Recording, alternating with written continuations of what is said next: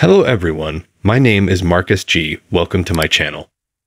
Before starting the video, please go ahead and hit the subscribe button and give this video a like up.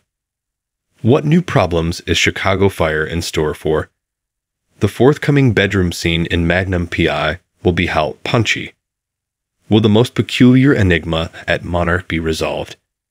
Continue reading to find the answers to all of those questions and more. Please feel free to forward any new questions regarding Chicago Fire to Emma at Will There Time Jump? Inside Line spoke with Fire showrunner Andrea Newman, who confirmed that there will be a time jump leading up to the premiere on January 17th. She said that the viewers and 51 are all in it together. The 51 gang is trying to navigate all of it while going through a roller coaster ride throughout the episode, because there have been big changes. Since there are currently just four members on Chicago Fire Department's Truck 81, would a new candidate be selected? Oh no, Tank 81 is getting a new firefighter, and they're not joining for the reasons everyone thinks, teases showrunner Andrea Newman. The rookie will undoubtedly cause some difficulty, but will it be good or bad? We will determine the outcome.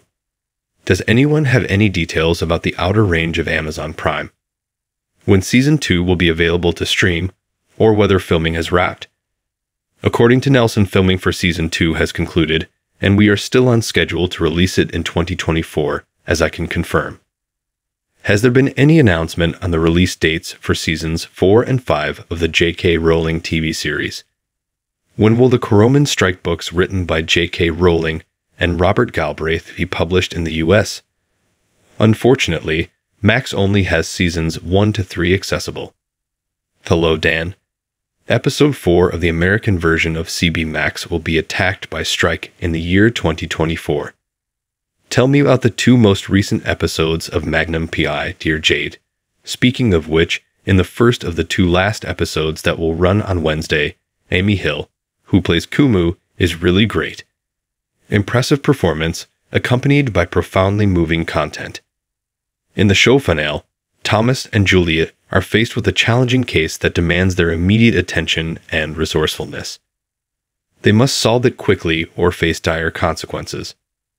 Please tell me how punchy the new Magnum PI film is. Scene in the bedroom, from one to very punchy. This is Adina. It packs a punch, in my opinion. Perdita Weeks was not cheap with the price. In the first moments of the series finale, viewers are treated to a glimpse of skin and are teased with the prospect of another shared shower. Will advertising play before, during, or after Prime Video shows? This is what Lincoln said. The Prime Video representatives I contacted on your behalf are being mum on the matter. Tune in on January 29th, I suppose. Does anyone have any additional information about the final voyage of intelligence star Hailey Upton from Chicago PD? Sarah L.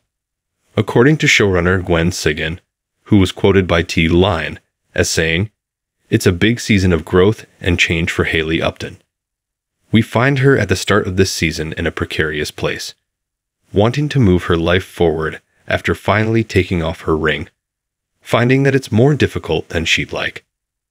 This news was shared alongside the hashtag 2024 First Look photos.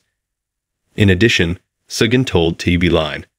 This season, we'll see that journey and get to see Hailey up against some new characters, ones that challenge and push her towards that confrontation. There's a lot she still has to confront in herself and doesn't necessarily know how to do so. It's going to be an adventure. Got any more details about SWAT? I am Jeff. Showrunner Andrew Dettmann tells Inside Line Given that this could be SWAT's final season, we're going to return to our roots to some extent. We'll really put Hondo in a vice between his allegiance to his community and his commitment to being a cop. The whole black versus blue notion that started the show back in season 1. Really, Dettmann wrote could. Is Fox still planning to cast female stars in a Starsky and Hutch remake? Can you tell me who they're thinking of and whether one of them identifies as LGBTQIAP+. This is Eliana. Fox is currently working on the reboot that was announced in February. but they haven't revealed any casting or character specifics just yet. Season 2 was the turning point for me in Good Trouble, thanks to Mariana and Evan. Please tell me if they are ending things because I am emotionally drained waiting each week to hear that they aren't getting back together permanently. I need to know so that I may complete the grieving process. By Caddy Ann.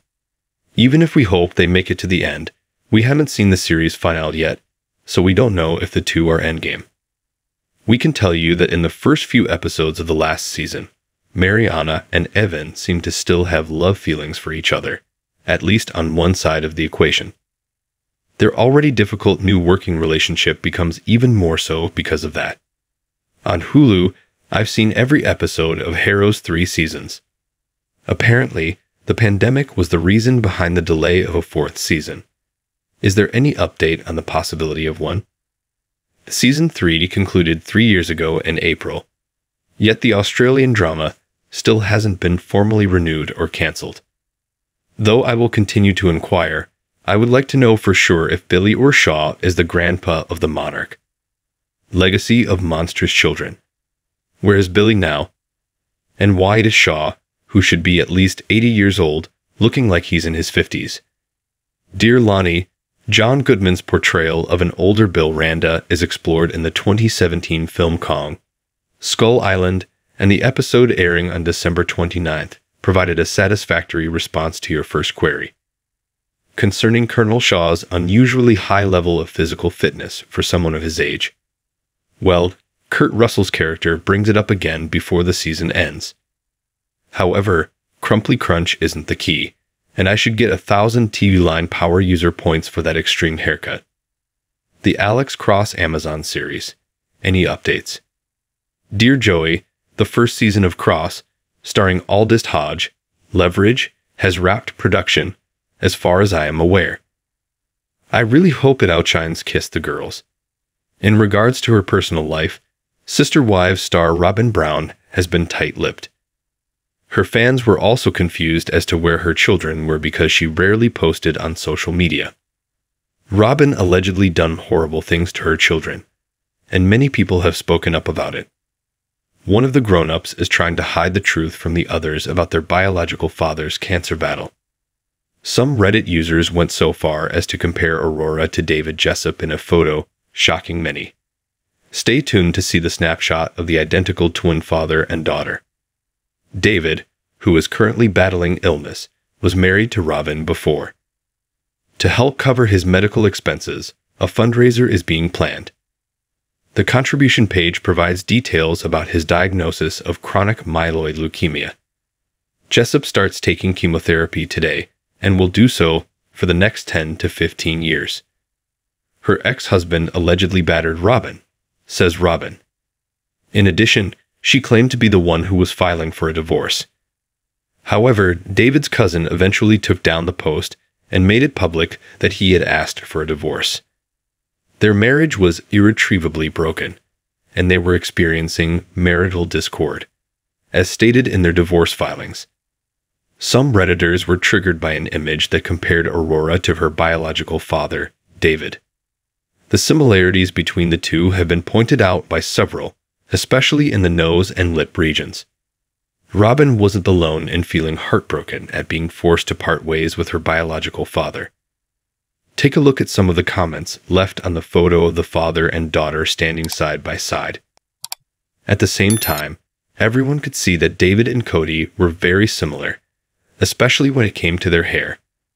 The discovery that David was Kody's third cousin, though, shed light on the similarities between the two. Christine Brown, who is currently married to Kody's third wife, is Jessop's first cousin. Dayton allegedly thought about relocating to be with his biological dad.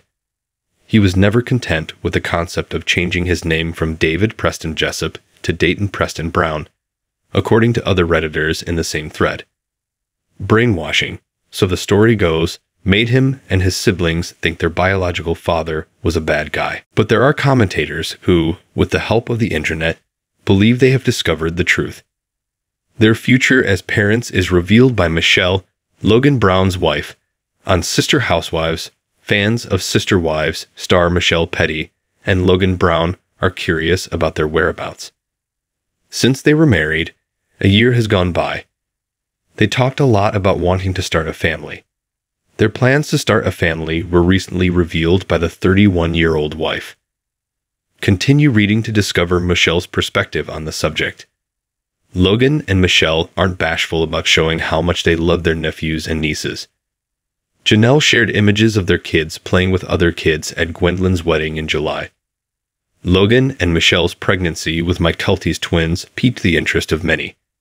According to the eldest son's first wife, who was also their second wife, the couple is trying to become the funnest aunt and uncle ever. Many were amazed by their steadfast commitment to the kids. A lot of people even advised them to start a family of their own. Janelle recently posted a video of the children from her Christmas party. A video of Logan playing with one of Mykelti's twins, however, catapulted him to fame on the internet. In subsequent remarks, fans were curious as to whether he had any plans to settle down and establish a family. But when the subject of starting a family came up, Michelle jumped at the prospect. Her mother in law posted about her and Logan's possible pregnancy on Instagram. According to her, they still haven't decided to start a family. Equally elegantly conveyed was her plea that they stop asking about their plans to start a family. Also, some Redditors had something to say about the married couple's plans. Nothing is known about how Kody spoke to his kids after his awful breakup with Janelle. The grandfather made an effort this year, though, by attending Savannah's high school graduation in May and everything. Unfortunately, it seems like his dispute with Gabriel and Garrison is still unresolved. The season finale left viewers wanting more from the Brown family. The tensions rose throughout Tell All, Talk Back, and Look Back as Kody continued to hold his exes responsible for the family's breakup.